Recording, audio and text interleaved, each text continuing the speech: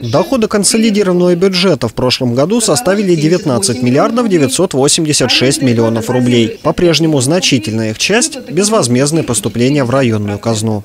Практически по всем доходным источникам план поступления перевыполнен.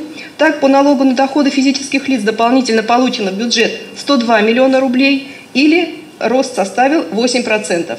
Средства районной казны тратили на развитие инженерной инфраструктуры и сельского хозяйства, охрану окружающей среды, развитие земельно-имущественного комплекса и формирование современной городской среды. По словам Людмилы Тарасовой, прошлогодний районный бюджет носил ярко выраженный социальный окрас. В структуре расходов бюджета основную долю, так же как и в 2017 году, составляют расходы на образование, культуру, физкультуру и спорт – Расходы на соцполитику всего это почти 80% от общего объема расходов.